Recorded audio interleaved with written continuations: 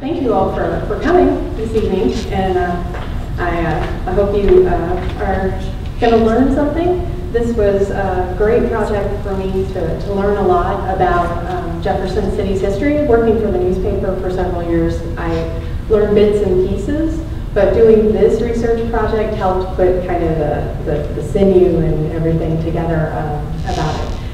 Um, as I say in the book, though, I want to clarify that this is not intended to be a comprehensive history of the city or in any way grab the entire. I'm just telling the interesting stories, hoping maybe grab a few things that a lot of you are, are pretty noted historians yourself. Maybe uh, a couple of things in here you, you didn't know already, and um, maybe we'll, we'll learn together here. Um,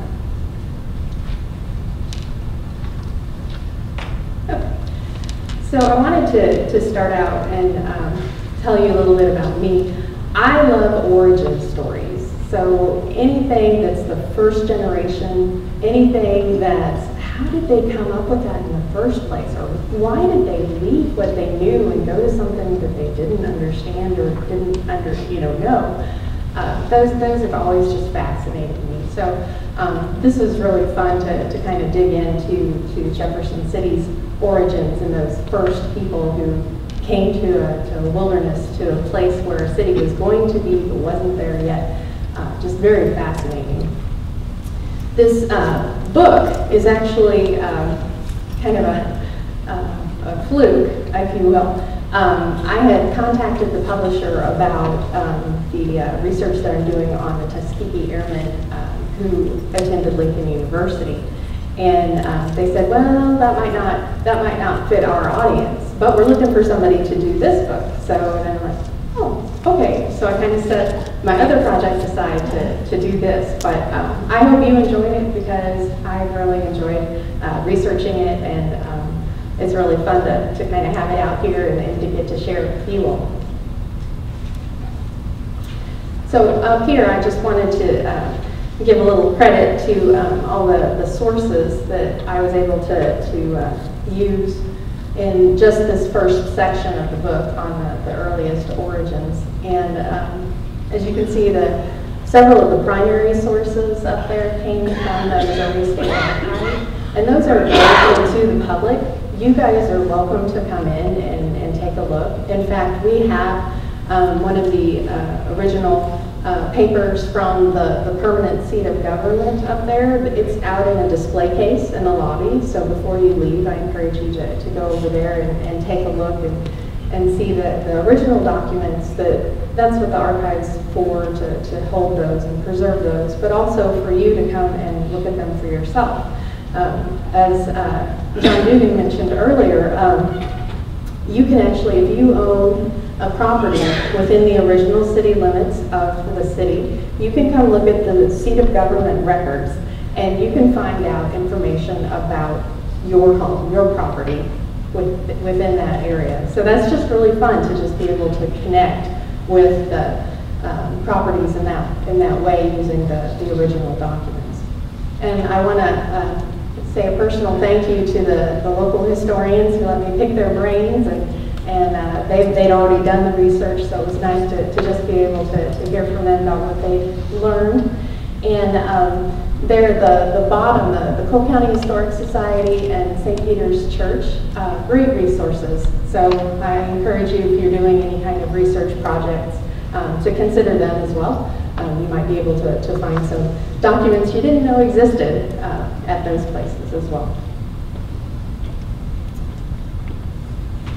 So as Vicki said, the uh, Jefferson City's existence is owed entirely to a state commission that was formed uh, to select what became, or what was an unclaimed forested hill of limestone on the south bank of the Missouri River. Now like all of Missouri, it passed from Spanish to French hands and then to the United States and Louisiana Purchase. And as the Missouri Territory, it was part of St. Louis County, and then when Howard County was created in 1815, it was part of that. Then it was part of Cooper County when it split in 1818. And then Cole County finally became its own in 1820.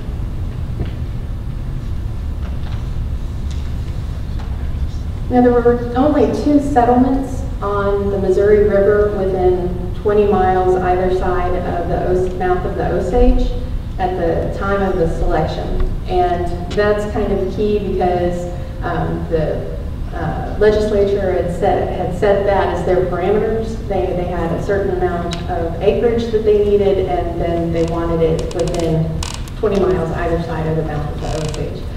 And um, there's Cote Sans Dessein, which is on the, the north side, sorry, north side of the uh, river on the Callaway County side.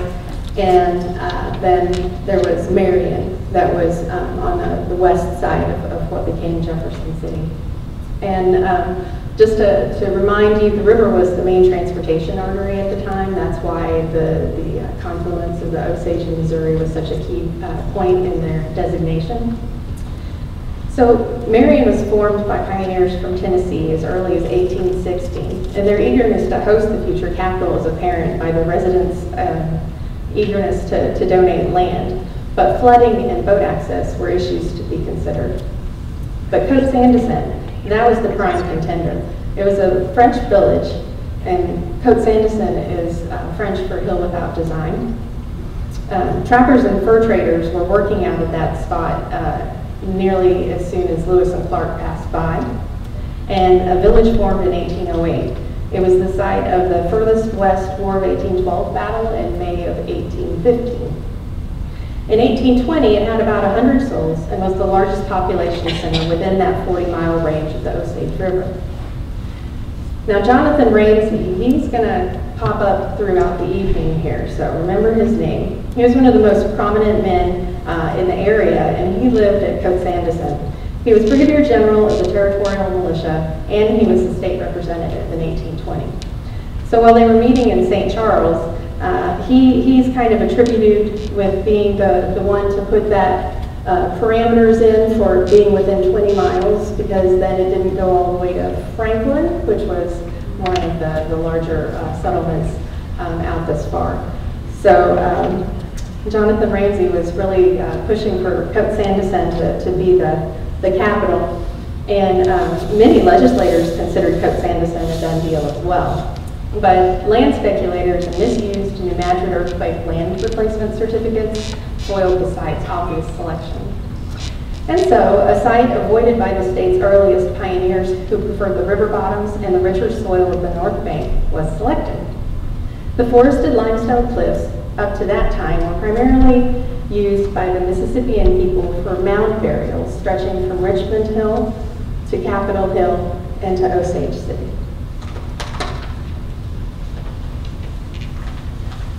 Now, here's one of my favorite guys. His name is William Jones. And as far as I can tell, he was the earliest settler here. Um, he uh, had a, a, shanty that he used as a tavern that um, I, I'm assuming that the lot that he eventually bought when state lots were actually plotted and sold is the same location. It would be on the end of Harrison Street, which is actually just out this door and down this way. So we're, we're almost there, if he was still here. But um, he, uh, had, he was here before 1819, and uh, a visitor to his um, uh, tavern about that time remembered paying a silver quarter cut from a Mexican dollar for a half pint of liquor. So William Jones was a Revolutionary War veteran, and you'll find that there were a lot of Revolutionary War veterans and War of 1812 veterans who, who came out this way.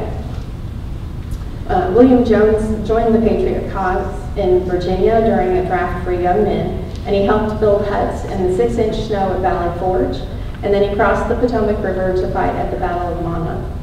In Cole County, he was one of the first to receive a ferry license in Jefferson Township. He was one of the first justices of the peace in Jefferson City, and he was an original city trustee when it was incorporated November 7, 1825.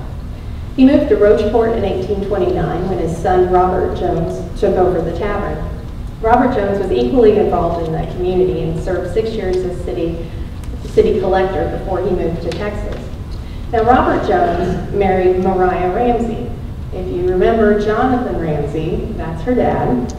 So you've got these, these uh, two families uh, joining forces. Mariah's uh, brother, Josiah Jr., wound up coming um, and being the second person to live here in what became Jefferson City. And they were the only two families living here uh, at the time of the sale of the first lots in 1873.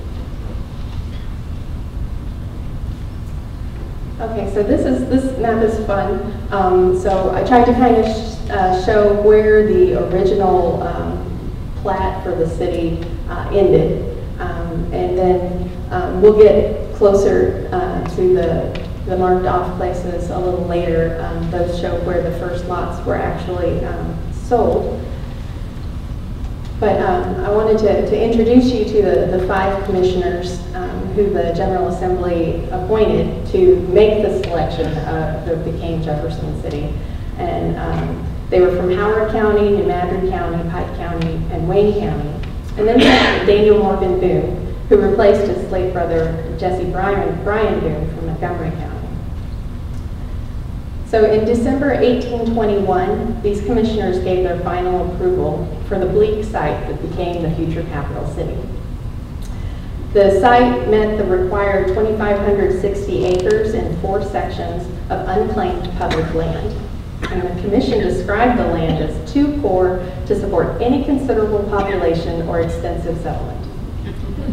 So soon, soon after that, um, Elias Barcroft and his wife's uncle, Daniel Morgan Boone, who had served on the commission, laid out 1,000 one-half acre inlots and five 40-acre outlots.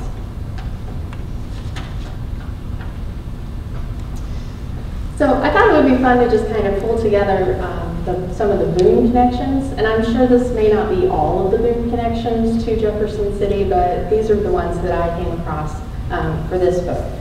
Um, so a little background, Squire Boone arrived in America at age 21 with the Society of Friends, or the Quakers. He immigrated from Devon, England to Pennsylvania and then to North Carolina, where he married Sarah Morgan. One of their sons is the noted frontiersman Daniel Boone, who moved from North Carolina to Kentucky in 1770.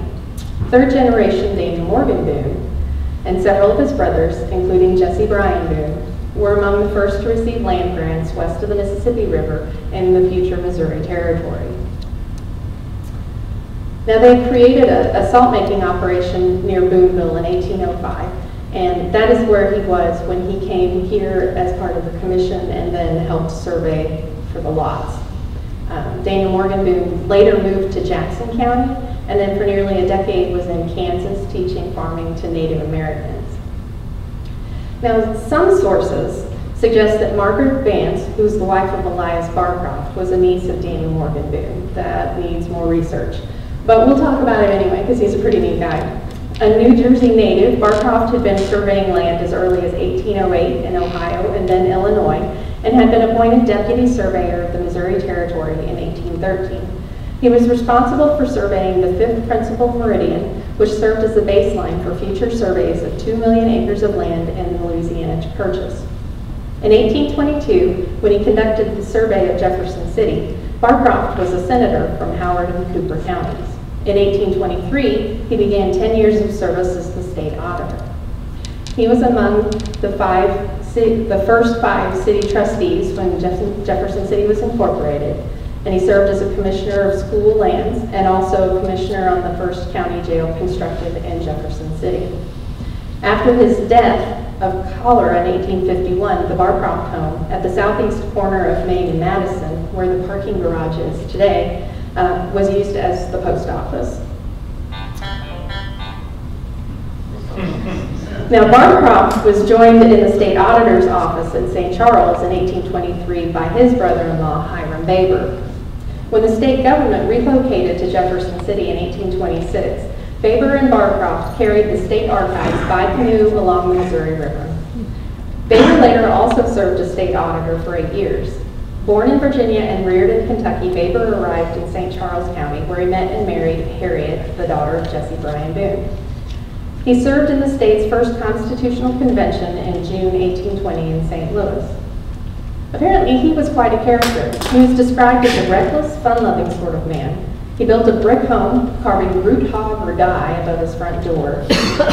he lit his pipe with bank bills to show how easily he could make money and how little he cared for it. He was involved in the ginseng and pine trade through his store in St. Charles, and when he came to Jefferson City, he, he recorded the first census in 1830 when we had 470 families and a population of 3,000. And then there's Wynkoop Warner. Harriet Boone Baber's sister Minerva married Wynkoop Warner, who was born in Virginia to Quakers and then moved to Ohio. He served three years during the War of 1812, eventually being promoted to captain in the 19th Infantry by General Andrew Jackson at the Battle of New Orleans. Minerva's grandfather, Daniel Boone, lived his last years with the Warners, who employed someone to take him hunting. And their oldest son, Theodore, he hid his apples and nuts in his great-grandfather's future coffin, which the elder kept under his bed. All right. Now we're going to get to the fun stuff. All right, so the General Assembly designated May 1823 for the sale of 200 lots, which were to fund the State House construction. But the day only generated about $6,500, or about one-fourth of the money they needed for the building costs. So to oversee the sale of these lots, they appointed three men, Josiah Ramsey Jr., remember Mr. Ramsey, this is his son, and he was the, the second to settle in the Jefferson City area. The second trustee was John C. Gordon Jr. We'll talk more about him, but he was the first hotel uh, owner, built the Rising Sun Inn across the street uh, from the State House. And the third was Adam Hope, who was a Callaway County attorney. So then Duff Green was paid $16 for publishing the sale of lots, and Wynkoop Warner served as the auctioneer. Jesse Royston received $18 for serving the trustees as clerk. Royston was another War of 1812 veteran. He waited 14 years for Congress to reimburse him $80 for a horse he had lost while in service with the Mounted Kentucky Volunteers. When Jefferson City was incorporated in 1825, Royston was another one of those original city trustees. Now, another one of my favorites, Jane Ramsey Ewing. Guess who her dad was? So essential to the sale of lots was a plat map. So Jane Ramsey Ewing painted the original city plat map, which was lost in the first State House fire in 1837. On a white canvas stretched across a 20-foot by 30-foot wooden frame, she painted Broadway red and all the other north-south streets green, the cross streets blue, and 200 lot numbers in black. But she was only paid $10, and at the time was also caring for her first child, Missouri Jane Ewing. Now remember Missouri Jane, because she'll come up again too. As a teenager, Jane Ramsey Ewing moved about 1817 from Kentucky to Callaway County, where she married lawyer Robert Allen Ewing, another War of 1812 veteran. She was remembered as one of our most distinguished and estimable ladies. Her husband served as Cole County judge, and their two sons each served in the state legislature. So, May 5th, 1823, Jane Ramsey Ewing's giant map is set up on a cleared space which become Broadway. During the sale, Mrs. Ewing stood alongside her creation with a long pointer indicating each lot, as it was called by auctioneer Wynkoop Warner, who happened to be Callaway County Sheriff at the time. And Jesse Royston was there beside them to record the sales. In all, 60 investors bought the first 200 lots that day in May 1823. The average price paid, $32. The purchaser only needed to pay one-third of his bid. They could pay the next year in installments. So trustee John C. Gordon Jr. bought 19 lots that day. Many of them were on valuable corner lots. That included the, the site of his future tavern and inn, the Rising Sun, he was the son of a Revolutionary War veteran who settled in Cote Sans Dessein. When the county government moved to Jefferson City in 1829, its first meeting was held in Gordon's house, where Bishop Funeral Home is today. And until the new county courthouse was built in Jefferson City, the government rented space for a clerk's office out of his home. Trustee Josiah Ramsey Jr. bought 10 lots, mostly in the 200 and 300 blocks of East High Street, plus a couple choice corners in the future Millbottom area. And Jonathan Ramsey, well, he bought 15 lots himself. Trustee Adam Hope bought only one lot, the northwest corner of Jefferson and High, where Thomas Lawson Price would build the Virginia Hotel, later known as the Central Hotel. Robert and Jane Ramsey Ewing, they bought the northwest corner of Madison and High, where the City Hotel stood before today's Central Trust Building. First resident William Jones, he bought only one lot at the southeast corner of Harrison and Water Street, where he continued to operate his tavern, right. The most lots were purchased by Boone County merchant Peter Bass. He bought 23. Born in Maryland, Bass lived in Nashville, Tennessee before moving his family to Boone County in 1819. The Peter Bass Plantation, 10 miles southeast of Columbia, may best be remembered as the place where African-American horse trainer Tom Bass learned his trade. Alfred Basie, a state representative from Howard County, bought 15 lots and moved his family to Jefferson City. He eventually bought the entire 400 block of East Capitol Avenue where he built the first brick house in the city. Basie later bought 16 lots from Peter Bass, and he once owned all of College Hill, today known as Richmond Hill. He was a cousin to two presidents and served as a postmaster for a time, and then he later bought the Raising Sun Inn from Mr. Gordon. Christopher Casey, another Revolutionary War veteran, and the namesake of the local Sons of the American Revolution chapter, bought all four lots on the north side of the 300 block of Miller Street, about where the Simonsen practice field is today. And as just an aside, I share, whoop, sorry, I share a common ancestor with Christopher Casey, so that was kind of uh, fun to track that down. And Daniel Colgan Jr. opened the first general store in Jefferson City not long after this sale. He bought only one lot, or he bought one lot on the south side of East Main, where the first Presbyterian church was built. And he bought one lot on the northeast corner of Harrison at Main Street. Colgan had opened the first general store in Cote Sans Dessein in 1822 with his father, who had been a tailor and former justice in St. Charles. Colgan moved to the future Jefferson City site by November 1823, when Jefferson Township was established after a meeting held at his house.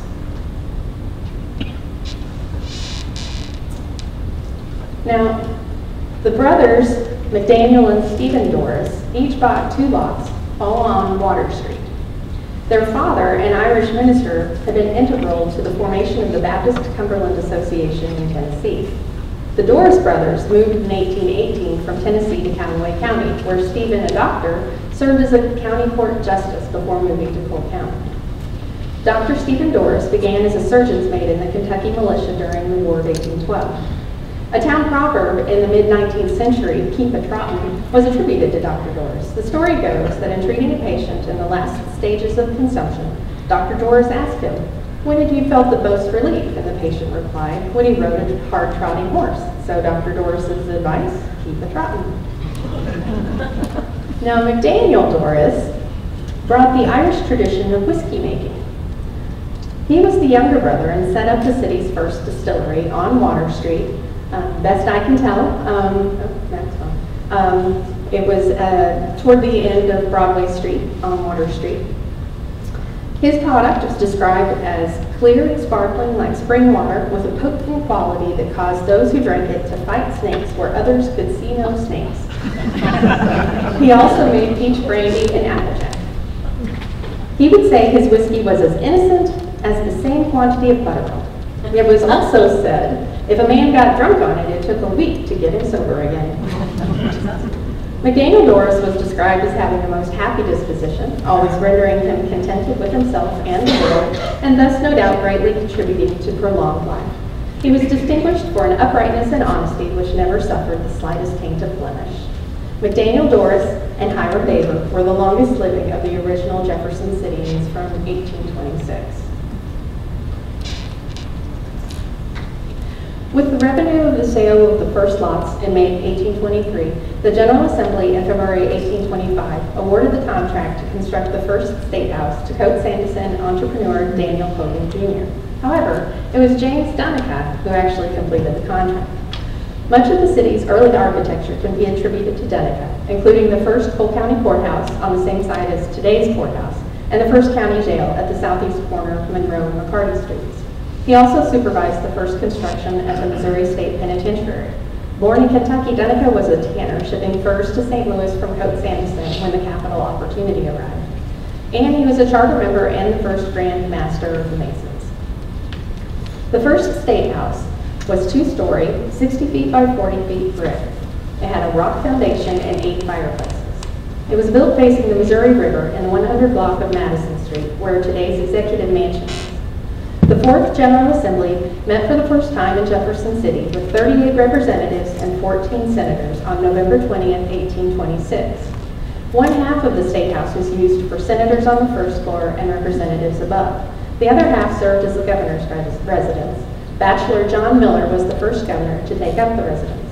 A War of 1812 veteran from Howard County, Miller was elected in a special election in 1825. Governor Frederick Bates had died in office in August, just after Lieutenant Governor Benjamin Reeves had resigned.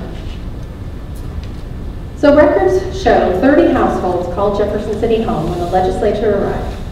In addition to the named men, they represented at least 50 women and children and an unknown number of enslaved people. Half of those heads of households in 1826 were involved in the State House construction. Many moved on after the project was completed. But a few stayed, like Carpenter's Terry Skurlock, who had served in the Tennessee militia during the War of 1812 and then signed up for another five years with the U.S. Rifles. And Carpenter Azariah Kennedy, who built a steam mill at the north end of Monroe Street before the railroad depot. Then there's brick mason Reuben Garnett, who built several early buildings, including the longtime newspaper office at the northeast corner of Madison Street and Capitol Avenue. And then there's David Scribner, who bought 240 acres of land near Russellville in 1831 and became one of the charter members of Cold Spring Baptist Church, one of the oldest churches in the county.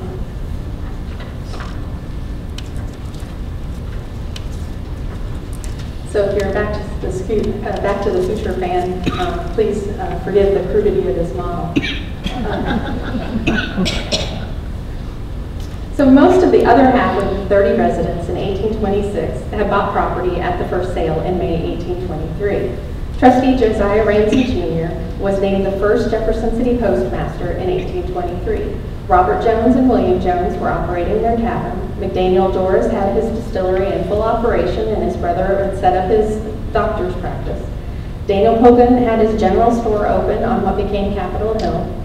Revolutionary War veteran Christopher Casey was serving as constable, and his son Hardin Casey, a blacksmith, opened the city's first grist mill at the northeast corner of Madison and High.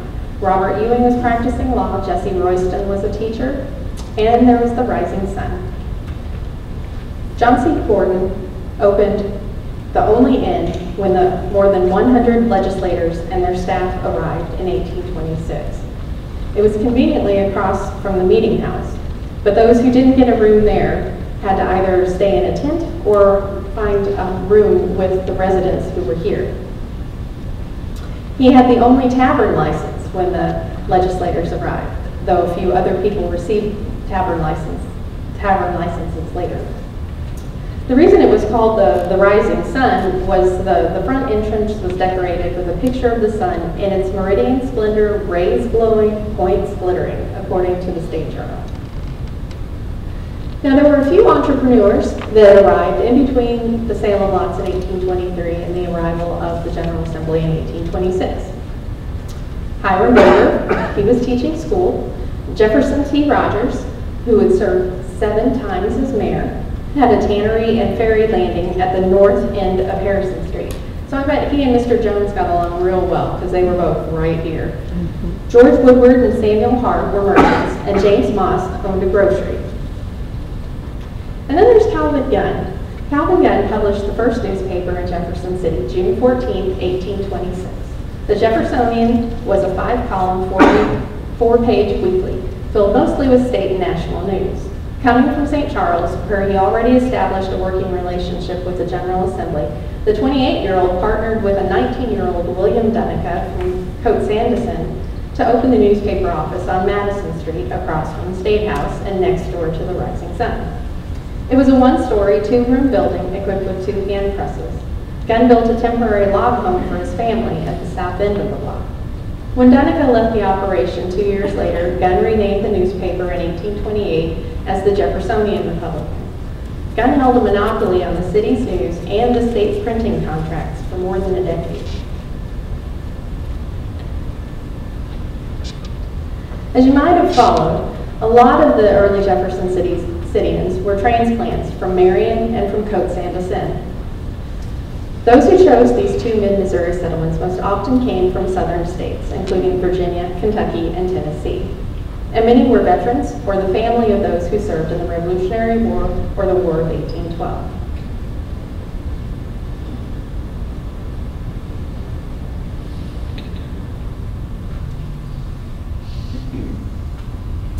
In to the veterans and Southern pioneers, German-speaking immigrants were beginning to arrive in the city's first decade.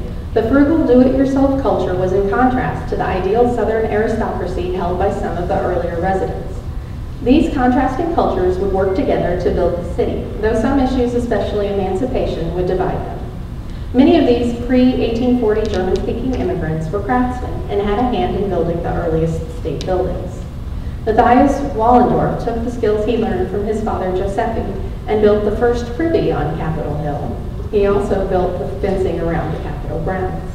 He owned a carpentry business and operated a sawmill in what is today the Millbottom. Christopher Kolkmeyer laid the first stone for the 1837 Capitol. He and his brother Frederick were stonemasons from Hanover. They operated a quarry about where we are now, and it served their prosperous street and gunner work. Then there's Hanoverian Herman Tellman, who was a blacksmith and locksmith. He worked on the second Capitol and installed the locks on the first executive mansion. Tellman fought in, fought in the Prussian army at the Battle of Waterloo, and he also helped build the first St. Peter Church, putting up the Iron Cross on the wall building. Just for fun, it's interesting to note that there were an awful lot of Irish laborers and their families who lived in town during the construction of the Second State House.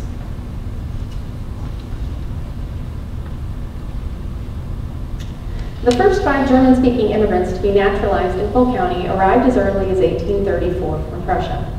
Before the city of Jefferson was incorporated in 1839, several German immigrants already had set up successful businesses, developing both the uptown area and what would become the mill bottom.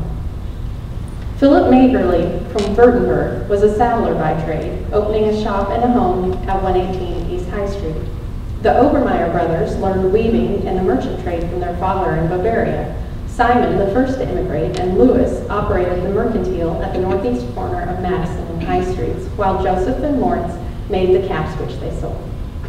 Perhaps the most successful of these earliest German immigrants was Gerhard Hermann Dulle, a Hanoverian teenager who arrived in Jefferson City in 1838. He worked in the brickyard and built a dairy farm, and then he took charge of the local mill in 1846. He built his own mill with the help of German-speaking partners in 1854 at the corner of Main and Walnut Street, establishing what would become the mill bottom. Over the years, other mills were built, making Jefferson City the hub for flour production for several decades. Dulle was instrumental in the early growth of St. Peter Church and also served the county as collector and sheriff. And then there's Charles and Christopher Maus, who were teenagers when they moved to Jefferson City about 1839 under the care of their older sister Elizabeth, who had married Peter Miller. Eventually, four other brothers joined them here. Charles and Christopher learned the building trades, and while, Char while Charles served in the Mexican-American War, Christopher joined the 1849 Gold Rush to California. Charles and his brother-in-law, Charles Lohman, bought the east section of James Crump's Missouri House, built in 1839, and now one of the oldest standing structures in town. Charles Charles Maus later built the Missouri Hotel across Jefferson Street, which he renamed the Union Hotel after serving in the Civil War. The Maus family left Hesse to protect their father, a Lutheran minister. Charles became a charter member of today's Central United Church of Christ and donated the property on Monroe Street where the Christian Science Church was built. These are simply a few examples of the merchant nature of early German-speaking immigrants to Jefferson.